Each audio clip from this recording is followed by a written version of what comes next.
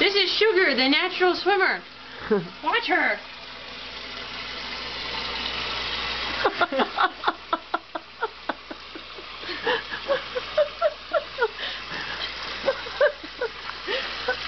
oh, no, the water!